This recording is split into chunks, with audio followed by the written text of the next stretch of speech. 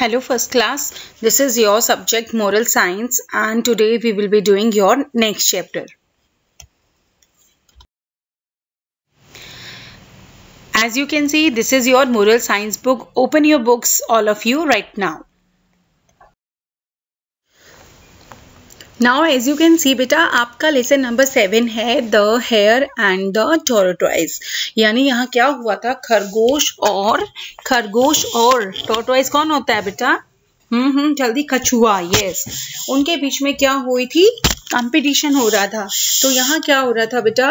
Once there was a once there was a speedy hare था who bragged about how fast he could run और वो हमेशा इतनी तेज दौड़ के रखता था कि हर कोई उससे थक जाता था और हमेशा वो ही जीतता था। तो एक दिन tortoise challenge him to a race all the animals और सभी इस जो उसने उसको क्या किया चैलेंज दिया था, सभी एनिमल्स उसको देखते हुए हैरान हो गए और हंस भी रहे थे कि ये कैसे जीतेगा। ये रैबिट जो है इतना तेज भागता है और टोरोटोइज उसको कैसे हरा सकता है? How it is possible the hare run down the road for a while and after some time he paused to run to rest और वो रुक गया। थोड़ी देर हेयर भागा और रोड पे थोड़ी देर के लिए रुक गया एंड आफ्टर सम टाइम वो आराम करने लग गया वहाँ। He looked back at the tortoise and cried, How do you expect to win this race when you are walking along it? Your slow slow pace अब रैबिट ने उसको बोला कि चाहे तो कितनी जल्दी जल्दी भाग ले या कितनी धीरे से भाग ले लेकिन तूने सोच कैसे लिया कि तू मुझे हरा सकता और तू खुद मेरे सामने तू जीत जाएगा? ऐसा कभी नहीं हो सकता। The hare stretched himself out stretch का मतलब उसने अपने हाथ पैर कस लिए और ठीक है, अब मैंने जीतना ही है। Along with the road and fell sleep और उसने सोचा कि ये तो मुझे हरा नहीं सकता।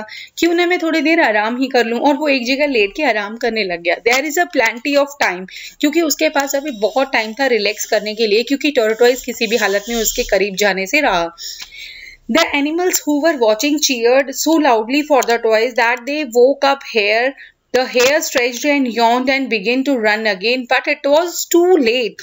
अब सारे एनिमल्स देख रहे थे खुश हो रहे थे टोरटोइज के लिए क्योंकि वो जीत रहे थे। एंड उन्होंने जब देखा हेयर ने कि टोरोटोइज आसपास नहीं है अब उसने जल्दी से भागा बड़ी तेज कभी उबासियाँ ले रहा है। इतने में देखा कि वो बहुत देर हो चुकी थी और टोरोटोइज जो था वो रेस जीत चुका था। अब उसके सोने के चक्कर में क्या हुआ?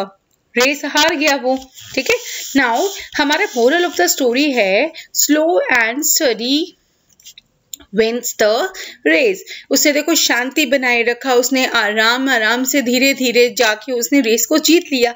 ज़रूरी थोड़ी ना एक तेज भागने वाला एनिमल ही जीतता है, यहाँ इसने प्रूफ कर दिया इस बात को। हम्म? नाउ अब आपकी वर्ड वाइज जो है these are your word meanings ये आप अपने वर्ड मीनिंग्स अपनी नोटबुक में नोट करेंगे। And I will be showing you आपका जो बुक वर्क का आंसर वगैरह है, वो मैं आपको शो करूँगी। आप वहाँ से अपने बुक वर्क को कंप्लीट करेंगे। Fine